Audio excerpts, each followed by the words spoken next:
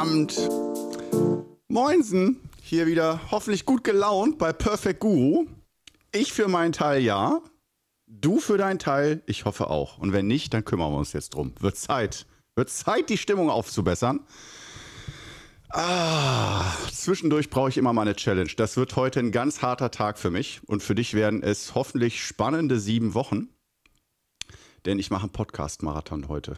Ich mache einen Podcast-Marathon. Und ja, um es noch einmal gleich zu sagen, wir sind alle, alle Content-Creator, sind alles Betrüger. Das wird nicht live ausgestrahlt, es wird vorher schon aufgezeichnet und so gerade wenn man mal in Urlaub will oder so, dann, dann bedienen wir uns ja dieser ganz fiesen, bösen Tricks, dass wir so tun, als ob sozusagen das Angebot weiterläuft, aber in Wirklichkeit liegen wir irgendwo auf Bali am Strand und so und lassen völlig automatisiert den Content hochladen. Und nur das mit, der, mit den Kommentaren beantworten, das muss man noch selber mal machen, zwischendurch in der Hotellobby, wo, das, wo der WLAN-Empfang gut ist. Aber äh, nee, wie du siehst, bin ich hier leider in keiner Hotellobby von Bali, sondern in der äh, Lobby meiner eigenen Einzimmer-Apartment-Studio-Geschichte hier. Ähm, aber nichtsdestotrotz kein Grund, äh, obwohl das Wetter ist auch scheiße gerade, keine Sonne und so. Trotzdem kein Grund, schlecht drauf zu sein. Und doch, wenn es ein Grund ist, dann kümmern wir uns, wie gesagt, jetzt drum. Jeder darf schlecht drauf sein, aber wir belassen es nicht dabei. Wir lassen das so nicht stehen. Dafür ist ein Lebenstag zu schade, oder? Und ich versüße mir heute diesen Lebenstag mit einer Challenge. Ich will es wirklich wissen. Sieben Podcast-Episoden produziere ich heute und zwar direkt hintereinander. Das heißt, du wirst die nicht direkt hintereinander sehen, außer sie sind fertig ausgestrahlt und du kommst aus der Zukunft. Dann kannst du dir die alle hintereinander angucken und mir beim Zerfall zusehen, wie ich von Folge zu Folge immer weniger werde. Und äh, wir werden sehen, was in Folge 7 noch von mir übrig ist. Es geht, also es ist jetzt nicht nur Quatsch und ah ja, mal irgendwie sieben Podcast-Episoden äh, produzieren, einfach weil er es kann, sondern das macht auch ein bisschen Sinn. Ähm, denn äh, ich habe mir überlegt, ich mache zu den sieben Lehrschätzen sieben Folgen.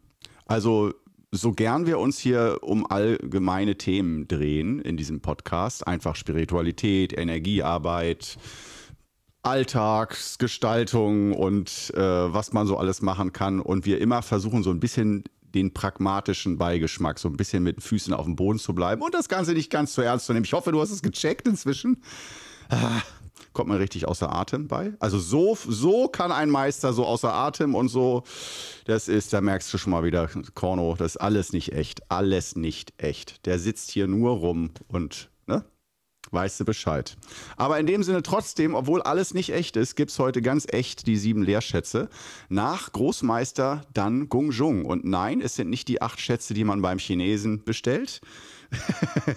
das ist nicht äh, Gemüses Leipziger allerlei auf Chinesisch, sondern ähm, das ist, äh, die sieben Lehrschätze sind wirklich die Lehrinhalte von Großmeister Dan Gongzhong.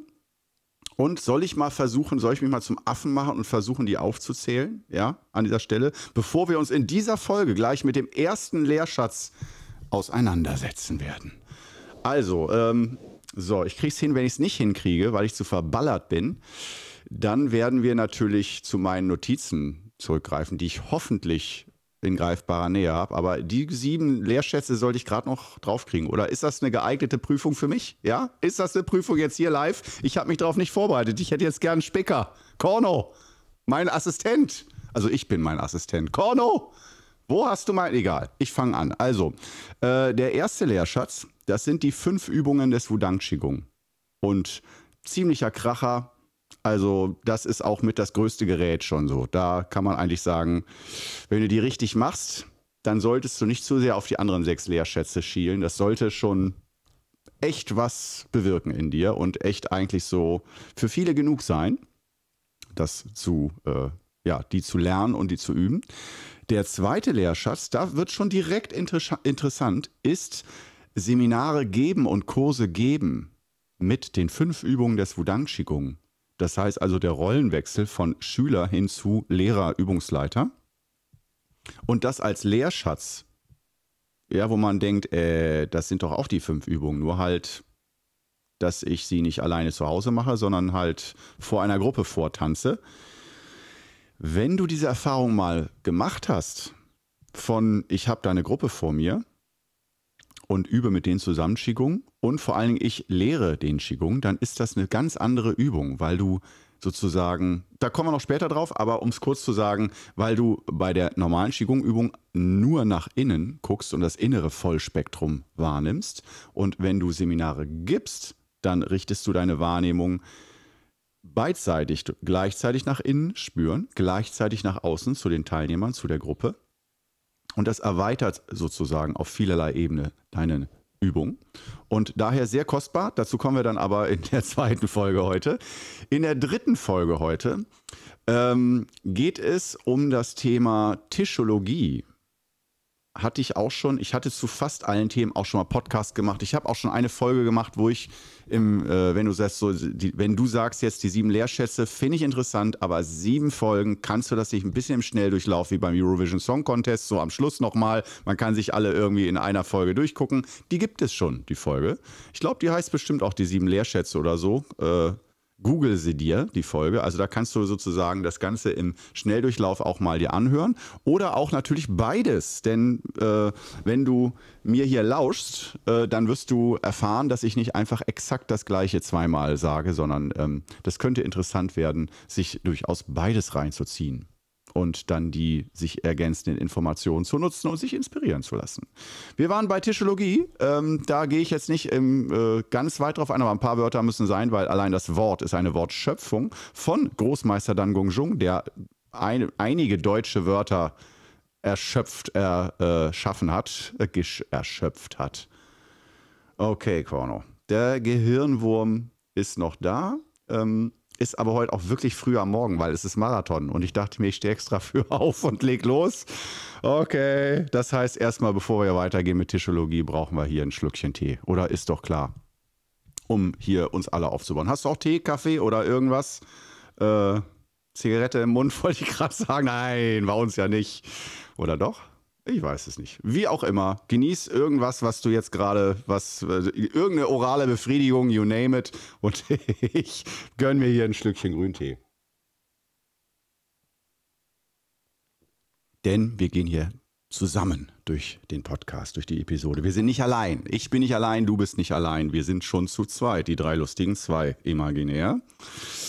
Okay, wird das heute ein Podcast-Marathon oder nur äh, eine Dokumentierung von wie Korno durchknallt langsam?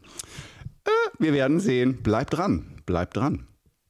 Ähm, Tischologie, genau. Tischologie äh, ist eine Mischung von, man setzt sich um einen Tisch rum, bringt Dinge auf den Tisch im übertragenen Sinne, sprachlich, Themen auf den Tisch bringen ähm, und sitzt äh, um einen Tisch herum und das Ganze wie das soll dieser, diese Ologie äh, dann, dass es in Psychologie, also dass es äh, in Richtung Psychologie geht. Aber halt nicht das Zweiergespräch, nicht, dass dich da ein Meister oder ein Therapeut mit einem Schüler, einem Patienten hinsetzt und äh, man dann äh, ein Gespräch führt, sondern äh, wenn es geht, eigentlich in Gruppen A mindestens vier bis zehn oder vier bis zwölf Leute. Also in China oft sehr große, runde Tische wo dann alle drumherum sitzen und dann werden Themen auf den Tisch gebracht und die werden unterschiedlich behandelt. Wie genau und was das, wie das Ganze, wie das Ganze funktioniert. Also ich sage mal so, der, dieser Herzensaspekt vom Qigong und dass Qigong nicht nur meditative, fließende Bewegungen sind und in den Körper reinzuspüren, sondern dass wir uns beim Qigong auch tatsächlich mit praktischen, seelischen Lebensthemen auseinandersetzen, auch gedanklich auseinandersetzen.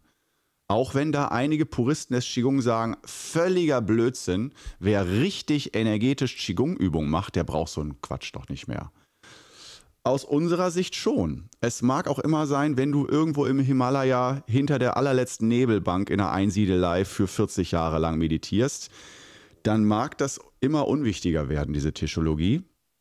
Oder vielleicht gerade dann wichtig, warum willst du 40 Jahre im Himalaya alleine verbringen in der Einsiedelei hinter der letzten Nebelbank?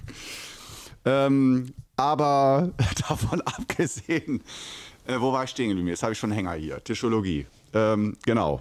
Für unser Eins, für normalen Alltag, der geprägt ist von zwischenmenschlicher Kommunikation und wo wir sehen, die meisten Staus, gesundheitlichen Schwierigkeiten und das, was uns am meisten Kraft kostet, ist meistens unsere Kommunikation. Oder eigentlich kann man auch sagen, fast immer Entweder nach außen, dass wir uns nicht richtig kommunizieren können oder das Timing einfach scheiße ist. Das heißt, wir sagen das Richtige, aber immer zur falschen Zeit. Das, dann kann man auch nicht sagen, man, toll, man kann toll kommunizieren.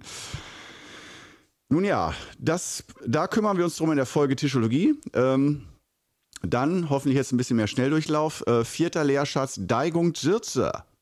Die habe ich jetzt falsch ausgesprochen. Ich glaube, Daigung. Irgendwie so. Ist auch noch falsch. Ich habe eine ganze Zugfahrt in China versucht, das mit einer Chinesin zu trainieren. Ich glaube, ich bin klä kläglich gescheitert.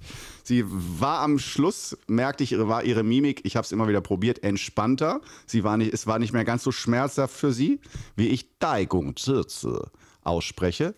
Und ich glaube auch das, es hört sich so, finde ich, ziemlich chinesisch an, aber ich glaube, es ist mega falsch. Es heißt auf jeden Fall übersetzt Energiemassage. Das ist der äh, vierte Leerschatz. Und jetzt wird die Luft langsam schon dünn, weil jetzt äh, muss ich anfangen zu jonglieren. Was hatten wir schon? Was kommt noch? Ähm,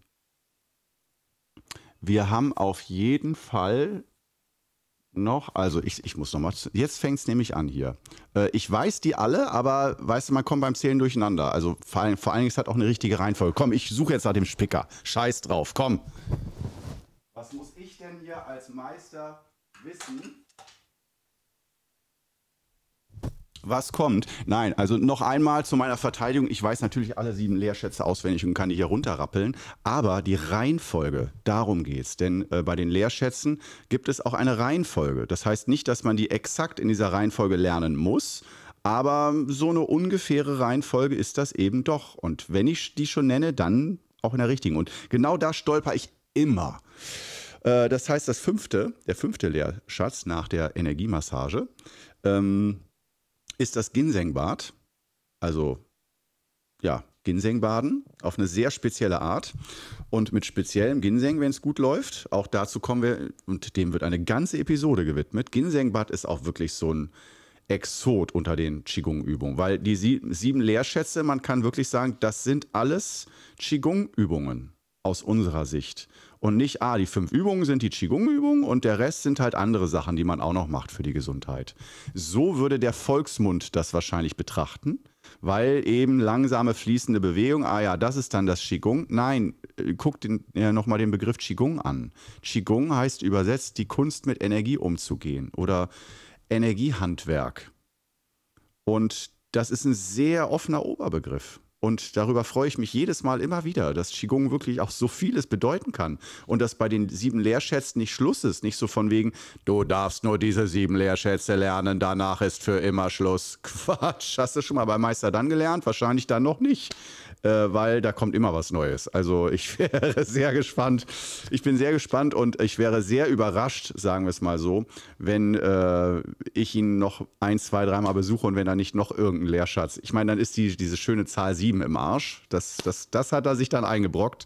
Aber äh, es geht ja ständig um Erneuerung und nicht, dass man sagt, so jetzt haben wir alles für immer safe im Kasten und das versuchen wir zu konservieren, so gut es geht, die sieben Lehrschätze. Die müssen jetzt für immer bleiben.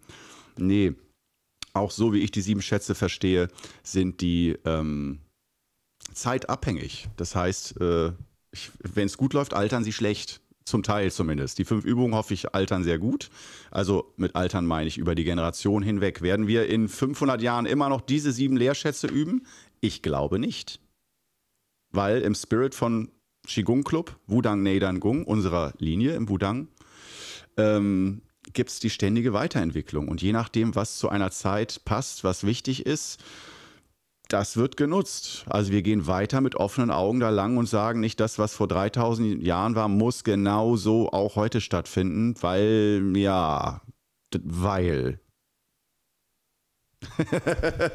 das, äh, diese Argumentation reicht uns nicht aus. Aber wir werfen auch ein Wissen, was 3000 Jahre alt ist, eben nicht einfach eben in die Mülltonne, weil wir sagen, ja, es fühlt sich für mich jetzt individueller Freestyle fühlt sich für mich besser an als irgendeine Form.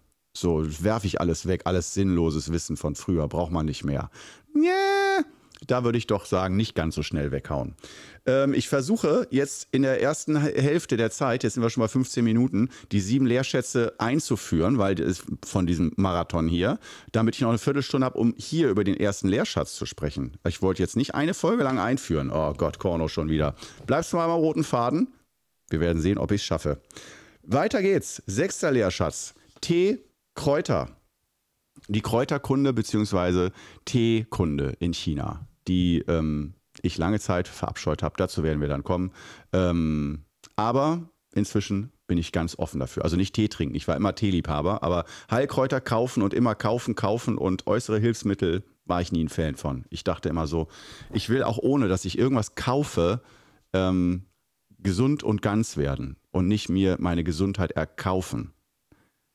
Und damit habe ich komplett respektlos äh, die chinesische Kräuterheilkunde behandelt, weil ich nur noch in, ich hatte nur noch diese negativen Dollarzeichen in Augen, dass ich Geld verliere und habe überhaupt nicht gesehen, was das für ein Schatz ist eigentlich, die chinesische Kräuterkunde und wie sehr die dir helfen kann. Und nicht nur bei spezifischen Krankheiten, sondern auch ganz allgemein. Stichwort Ginsengbad geht auch ein bisschen in die Richtung.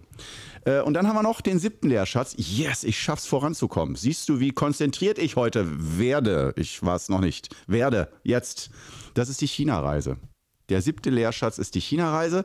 Und äh, ganz kurz zur China-Reise. Damit ist nicht eine touristische Kreuzfahrt auf dem Yangtze gemeint, ähm, wo du ein paar Tage lang äh, als in einer chinesischen oder in einer Reisegruppe äh, dir ein paar Sehenswürdigkeiten anguckst. Das ist nicht mit China-Reise gemeint, sondern eine Meisterreise, dass du mit einem Meister zusammen dort zu speziellen Orten hinfährst, um dort zu üben oder zu lernen oder auch auf Reisen zu sein.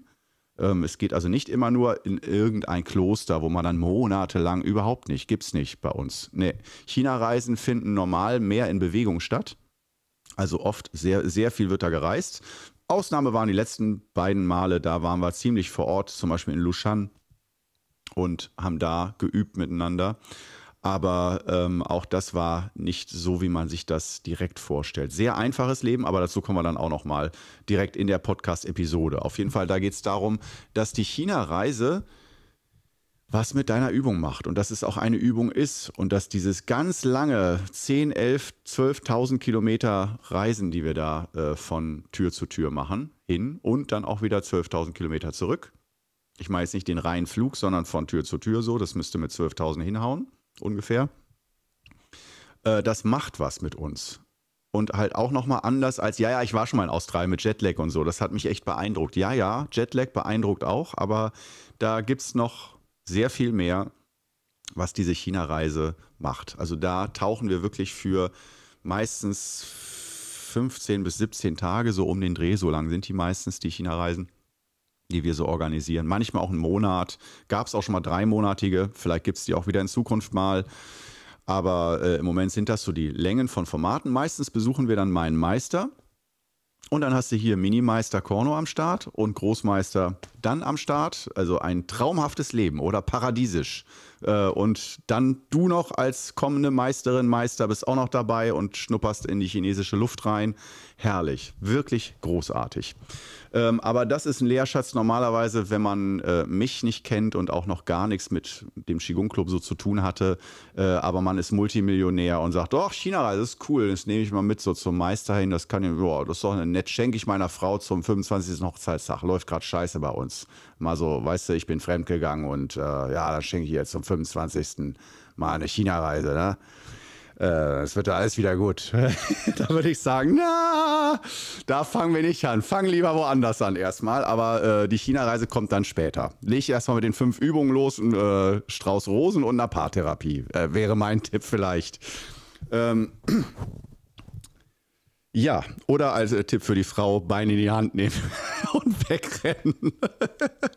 ah, wer so einen Mann hat, braucht keine Feinde mehr, würde ich sagen. Aber äh, wir kommen jetzt wieder weiter zu äh, die letzten elf Minuten dieser Episode. So heißt vielleicht sogar die Episode. Ähm, nee, die fünf Übungen des Wudang Qigong. Da kann ich natürlich auch noch viel länger drüber sprechen. Der erste Lehrschatz, auch das allererste, was ich von meinem Meister gelernt habe, waren die fünf Übungen des Wudang Qigong auf dem allerersten Seminar in Deutschland 1999 in Hannover, als er das erste Mal Wudang Qigong geöffnet hat nach außen und hier somit mit diesem Seminar aus meiner Sicht zumindest diese Schule hier geöffnet hat in Deutschland. Und er hat ja auch lange Zeit in Deutschland gelebt, weil er Exilant war und geflohen ist. Warum Exilant? Weil in China zeitweilig Qigong-Meister ein ganz klein wenig verfolgt wurden. Und äh, ja, da musste er dann mal die Segel streichen und über Japan, Thailand, Russland, Ostberlin, Westberlin, Ulm, China-Restaurant Panda am Bahnhof, jetzt schon abgerissen, dann wieder zurück nach Hanau und äh, zurück nach Shanghai zu kommen. Und äh, jetzt lebt er in Lushan und Shanghai, wechselseitig mal da, mal da. Und ähm, ja, Jetzt haben wir eben noch mal kurz die Lebensgeschichte von Meister dann aufgerollt. Jetzt weißt du, wo er herkommt, wo er überall gewesen ist. Bam. Also, und das Korno, ich, dafür hätte ich allein schon drei Episoden gebraucht. Aber nein, heute habe ich meinen Tag hier. Also fünf Übungen. Ich versuche noch darauf einzugehen. Die fünf Übungen des Wudang Qigong. Ähm, wenn du die jetzt kennst, wirst du wahrscheinlich nicht mehr ganz so interessiert sein, weil du denkst, okay, jetzt kommt wieder, es ist ein Übungssystem, adaptive, bla bla bla und so weiter. Ähm, ich bin jetzt ein bisschen verunsichert, weil ich nicht weiß, wenn du schon viel über die fünf Übungen weißt, dann äh, was soll ich dann jetzt sagen? Wenn du noch gar nichts darüber weißt, dann muss ich wirklich mal grundlegend sagen, was das ist. Ähm, wir versuchen einen Mittelweg. Ähm, also wenn du fortgeschritten bist, musst du jetzt nicht sofort abschalten, weil ich jetzt nicht nur zehn Minuten äh, oberflächlich äh, eine Flyer-Beschreibung hier abgebe. Das kannst du auch woanders nachlesen. Die fünf Übungen sind ein Übungssystem und haben als Spezialität, dass sie ein in sich geschlossenes Übungssystem sind. Das heißt, sie benötigen nicht mehr Übungen und sie decken ganzheitlich das komplette Körper-Geist-Seele-System ab. Du sprichst also alle Ebenen an in dir, die nötig sind, um dein Energiesystem ins Gleichgewicht zu bringen. Und das gilt für jeden Menschen. Das heißt, das sind, diese fünf Übungen sind nicht für jeden unterschiedlich oder jeder macht mal eine von, davon, die besonders gut zu ihm passt, sondern alle machen die gleichen Übungen gleichmäßig, also gleichmäßig verteilt. Und man macht auch, damit, falls du komplett blutige Anfängerin, Anfänger bist, man macht nicht alle fünf Übungen immer zusammen, sondern immer nur normalerweise zwei Übungen. Also die Übung stehen wie ein Baum, eigentlich immer, das ist so die Energietankstelle und dann eine der weiteren Übungen dazu. Und um so ein bisschen darüber zu erzählen, die Übung stehen wie ein Baum, äh, die steht im Mittelpunkt der Übung, äh, der fünf Übungen. Das heißt, äh, die, der wird am meisten Wichtigkeit beigemessen.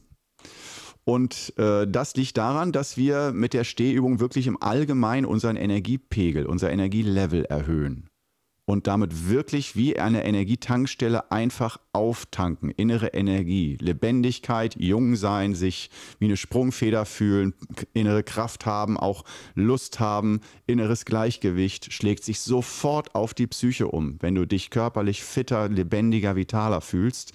Das ist auch die Nummer eins Übung gegen Depressionen und so weiter und so fort. Und äh, bei schwereren Krankheiten auch diese Übung. Aber da würde ich immer dazu raten, sich langsam an die Übung heranzutasten.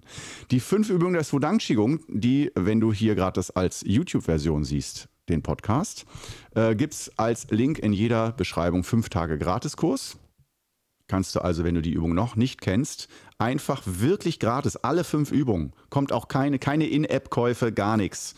Es geht einfach darum, dass wer die fünf Übungen, also das ist für mich ein Grundrecht die Betreuung, das Coaching, was ich hier so mache, da kann ich dann auch mal Geld für nehmen und äh, wer dafür Geld zahlen will, diesen Weg zu gehen, zum Beispiel in der Masterclass, Dein Weg der Kraft, wo man wirklich so eingebunden wird in einen Übungsweg und mit, also alltagsbegleitend, die Intensität selbst einstellend, je nachdem wie viel Zeit und äh, Motivation man gerade hat, dann aber trotzdem begleitet Qigong zu üben über Jahre hinweg, damit das auch wirklich was wird und du nicht aus Versehen an wichtigen Punkten die Übung aus den Augen verlierst.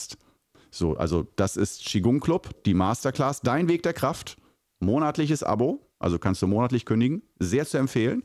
Aber äh, kannst du auch direkt loslegen, wenn du weißt, alleine kriegst du sowieso nichts hin. Ich war schon immer so, ich brauche Unterstützung. Dann geh direkt in die Masterclass, überspring den Gratiskurs.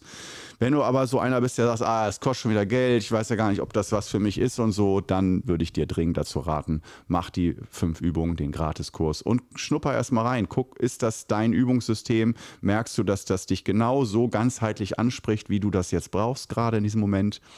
Und wenn du dann sagst, ist ganz nice, das Übungssystem, aber hier, ich habe keinen Kurs, ist niemand, ich bin alleine zu Hause, kann das erstmal für mich so üben, aber pff, ja, gibt es hier irgendwo einen Kurs in der Nähe? Nee, ich bin hier irgendwo in der Pampa oder so. So, dafür haben wir im Qigong Club ähm, die Masterclass, Dein Weg der Kraft. Und äh, das kannst du dann nutzen. Also vorrangig erstmal für Leute, die alleine üben und sagen, ich möchte Community, ich möchte eventuell alleine üben, aber mit Unterstützung von Korno, dann natürlich gr größtenteils in Videoform oder nur alle zwei Monate in, als Skype-Termin, dass man da auch persönlich Fragen stellen kann und zur eigenen Übung, also auch Verbindung zu mir dann hat, persönliche Verbindung, aber nicht meine Telefonnummer und nicht meine E-Mail-Adresse. Du kannst mich nicht 24-7 anschreiben und kriegst immer sofort Antwort und sonst äh, gehst du mir mit dem Messer an den Hals, weil ich nicht sofort geantwortet habe. Das läuft bei uns ein bisschen anders. Äh, also da, wenn du kannst jederzeit bei uns, wenn du Fragen hast, auch anrufen. Da geht das aber, da geht irgendjemand anders, wahrscheinlich gerade Janine dran. Ähm, und ans Telefon und wird dir alle deine Fragen beantworten und alle Unsicherheit nehmen. Ja, also das sind die fünf Übungen des Wudang Qigong. Und äh, ich finde immer den Fun Fact dazu, dass äh, zumindest so wie ich die fünf Übungen beibringe, Ziel ist, die fünf Übungen eigentlich so kurz wie möglich zu üben. Und nicht damit man die anderen Lehrschätze noch mehr üben kann, sondern wenn wir jetzt erstmal nur bei den fünf Übungen bleiben, dass die fünf Übungen uns ins Gleichgewicht bringen sollen, ja, aber bei einer guten Ausbildung mit einem guten Lehrer, Meister zusammen, sollte es dazu führen, dass du die Übung so verinnerlichst, dass du die im Laufe der Jahre immer weniger brauchst. Das heißt, dass du im Alltag mehr und mehr Gleichgewicht machst oder dir Alltagsstrukturen und Umfelder schaffst mit Hilfe der fünf Übungen, die die fünf Übungen selbst obsolet machen. Ziel nochmal ist nicht so viel wie möglich ein Leben lang die fünf Übungen des Wudang Qigong zu üben. Das kannst du machen. Ist dir ist erlaubt. Und die Praxis zeigt auch, es gibt Phasen, wo man mal mehr, mal weniger übt, aber die Tendenz innerhalb von fünf, 10, 15, 20 Jahren sollte in die Richtung laufen, dass du die weniger brauchst.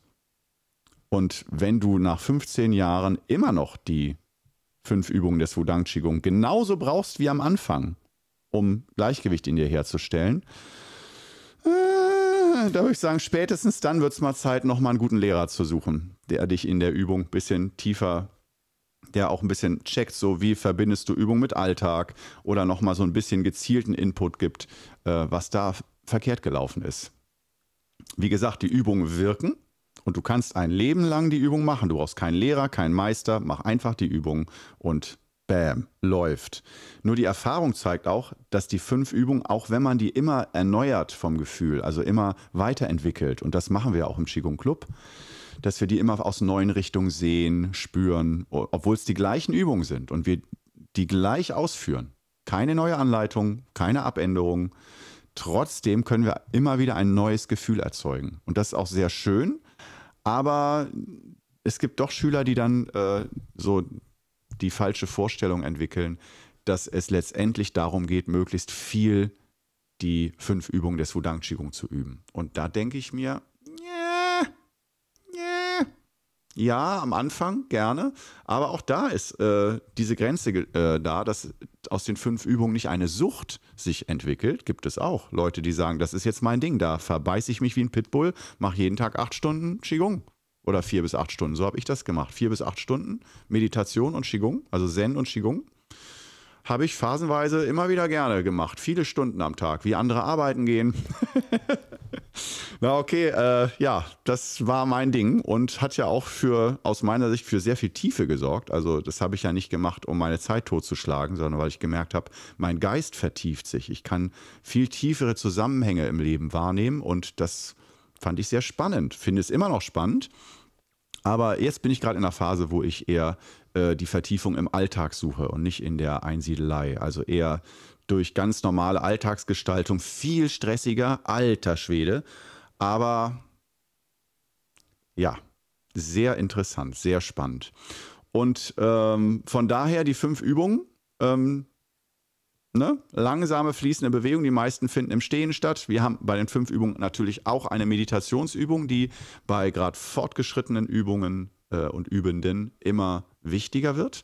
Und das ist auch die offenste Übung, die Meditation, weil wir da ähm, verschiedene Module haben, erstmal ganz normal, so an, drei Anfängermodule, also drei Atemtechniken sozusagen, die wir dann nutzen. Aber bei der Meditationsübung, da kannst du wirklich sehr viele Übungen ähm, sehr viele At äh, Atemmodule oder Meditationsmodule nutzen, die dann nach und nach auf deiner Übungslaufbahn, wenn du intensiv übst, dir überreicht werden. Immer mal so ganz nebenbei, kommst gerade vom Klo, begegnest einen Meister im Flur und der sagt dir übrigens deine neue Atemtechnik, die Grüße an Olli an dieser Stelle. Olli, du weißt jetzt genau, was ich meine. Ähm, ja, cool. Dann sind wir schon wieder am Schluss hier äh, von der ersten Folge, die fünf Übungen. Ich habe kurz mal drüber gesprochen, aber äh, da ist natürlich die Hauptempfehlung, ziehst dir rein. Wenn du sie kennst, dann bitte mit einem breiten Grinsen ah, nostalgisch daran denken, wie schön die fünf Übungen sind. Wenn du sie noch nicht kennst, wird es Zeit. Wirklich. Also bitte. Ja? Gut. Dann haben wir das auch geklärt. Ähm, ich kriege hier noch einen halben Schluck Tee und verabschiede mich schon mal bei dir. Wir sehen uns aber gleich wieder, beziehungsweise nächste Woche, bei der zweiten Episode. Und ne, dann es weiter mit ähm, Seminare und Kurse geben. Abgefahren wird das, echt mal.